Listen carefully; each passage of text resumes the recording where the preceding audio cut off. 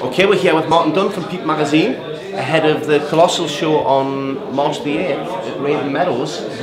Martin, looks like been quite the show. What's your thoughts? Yeah, it's going to be a great show. Um, massive bill. Phil's done another great job of getting all these Northeast boxers on, all these good lads on.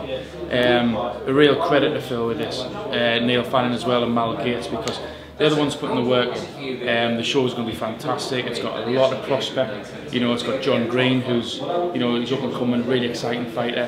Liam Kamek from Horden, he's making his debut, another exciting debutant. Yeah. Then you've got Tommy Ward, who goes without saying. Yeah. Um, but the main fight for me is uh, Tom Whitfield against Daniel Cope, Hartlepool, South Shields. Um, we've seen Lee Mould last year. You said it in the press Yeah. conference.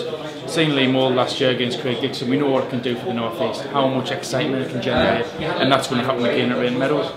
It's another one of those where it's, it's, it's not a matter of sitting on the fence, but yeah.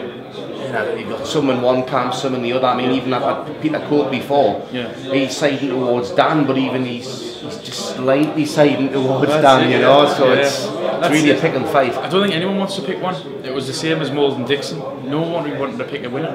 Um, And it was hard to pick a winner even after the fight. yeah, yeah, yeah. We were sitting ringside, we didn't know who had won. Um, but no, I think with that, again, I wouldn't want to say it. Um, I think it's going to be really, really exciting, really close. Um, and like the, the lads have said themselves, it's a big risk to take, but it's a one they're, worth, they're, they're willing to take. So, can't wait for it, yeah. And Phil Jeffries, he's been a man of his word. He's he's, he's stepping his fighters up. Yeah. He's, he's it's all part of the boxing sport where you, you go through your, you cut your teeth, you go through your development, you have your learning fights. But I think virtually all of the fighters on there mm. are fighting against somebody who's actually coming to win rather than survive, and that's from a fan's point of view. I mean, it's going to be a full house anyway. The, the mm. tickets have been going like hotcakes apparently. Yeah. But yeah. it's like from a fan's point of view, the action, a dozen fights. Mm-hmm. Yes, that's the difference though when you see fights like this coming up and you see shows that have got debutants on, you're going to sell your tickets. When you see shows that have got de- uh, derbies on, you're going to sell tickets. But when you see people who are fighting, you know, people who are 6, 7 and 0 or 6, 7 and 1, and they're not just coming to cover up and to, to cover themselves up and Yeah. get beat or, or to take what they can.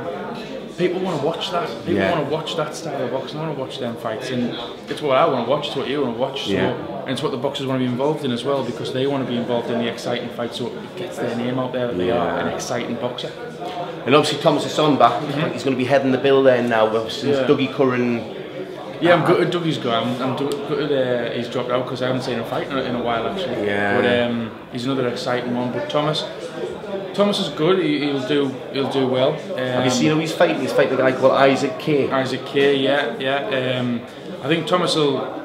He's got a certain style, Thomas, and he's sort of come out of that that amateur game that he, he was in. Yeah. Um, and he's adapted himself very well. So I'm looking forward to seeing how he how he goes ahead with this one.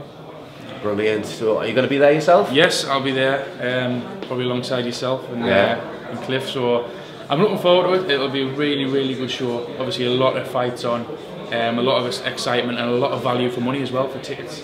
Brilliant. In that case, I'll leave it there. Cheers, Martin. Dunn. Thank you. Thank you very much. Thank you.